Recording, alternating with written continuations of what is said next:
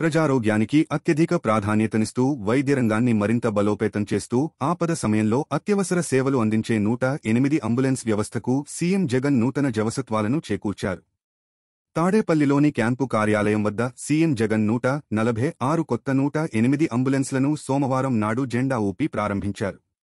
నూతన అంబులెన్స్లో ఉన్న అధునాతన వైద్య సౌకర్యాలను పరిశీలించి వాటిలో కల్పించిన వైద్య సదుపాయాల గురించి అధికారులు సీఎం జగన్కు వివరించారు. జగనన్న ప్రభుత్వం నూట ఎనిమిది అంబులెన్స్ సేవలను మరింత బలోపేతం చేసింది.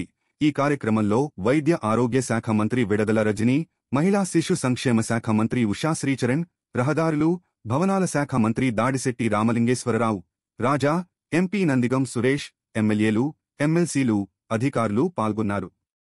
నూట నలభై ఆరు నూతన అంబులెన్స్లకు గాను రాష్ట్ర ప్రభుత్వం ముప్పై నాలుగు రూపాయల డెబ్బై తొమ్మిది పైసలు కోట్లను ఖర్చు చేసింది. ముఖ్యమంత్రి వర్యులు వైఎస్ జగన్మోహన్ రెడ్డి గారు జెండా ఊపి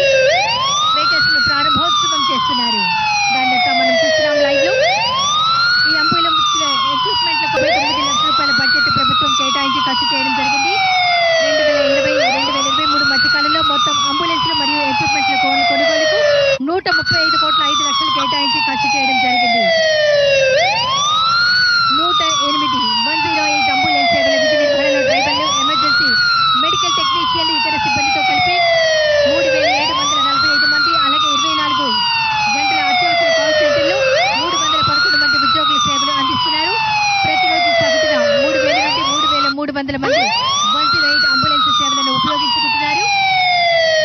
అంటే దాదాపుగా నెలకు తొంభై వేల నుండి లక్ష వరకు ప్రజలు వన్ జీరో ఎయిట్ సేవలను ఉపయోగించుకుంటున్నారు.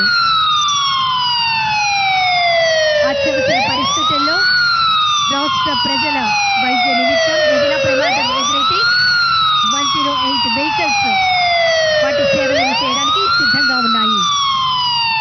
One zero eight